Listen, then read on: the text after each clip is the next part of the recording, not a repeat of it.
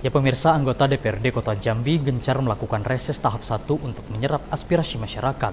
Salah satunya Kemas Ferit Alvarelli menggelar reses di RT 11 Kelurahan Telanepura, Kecamatan Telanepura, Kota Jambi pada Minggu malam 4 Februari 2024. Kegiatan ini dihadiri langsung oleh masyarakat di sekitar RT tersebut dan tokoh masyarakat lainnya.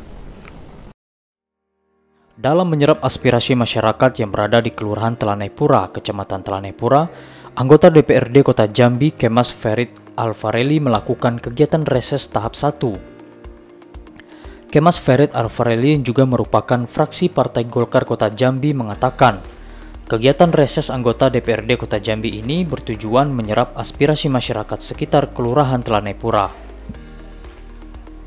Dalam kegiatan resesnya, Kemas Ferit Alvarelli menyampaikan agar persoalan infrastruktur yang menjadi keluhan masyarakat di sekitar dapat segera terselesaikan oleh pemerintah Kota Jambi.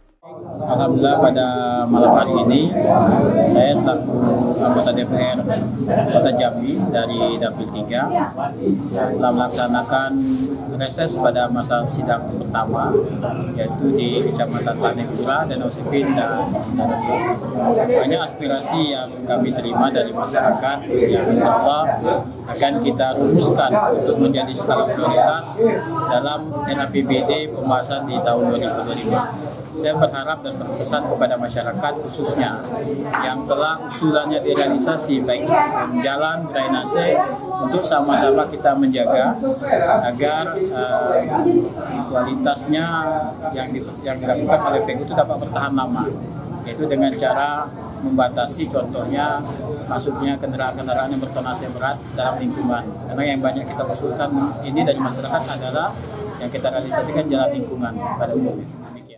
Sandi, Cek TV melaporkan.